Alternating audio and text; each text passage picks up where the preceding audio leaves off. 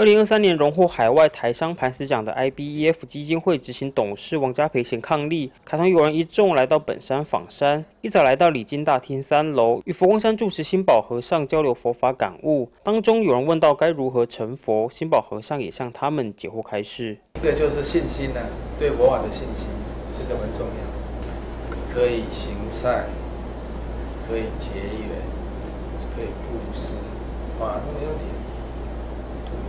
照你过去的种种，好，过去的种种，那你已经产生了信心，产生了呃这些功德，那在将来你基本上你会成功。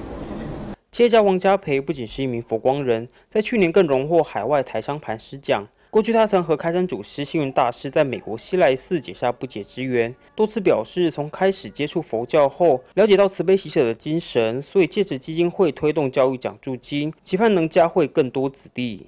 这个成立了基金会以后，然后我们最大的一个鼓舞就是说，有佛佛菩萨的保佑，让我们能够更积极的啊把这个事业做好。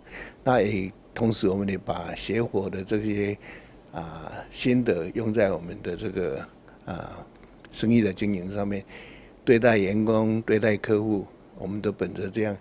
学我的这个精神，这个理念，就像呃，宝光山给我的加持，要有信心。来到佛光山，真的是让我的生命的第二春又找到了一个很光明的路线。一行人放慢脚步，透过访山与佛接心。佛光山住持新宝和尚用浅显易懂的方式畅谈佛教经典，也让众人更了解学佛的内涵。除了培养佛心，也期许自己能透过学佛得到更多信心，帮助更多社会大众。人间卫视王尚义高雄采访报道。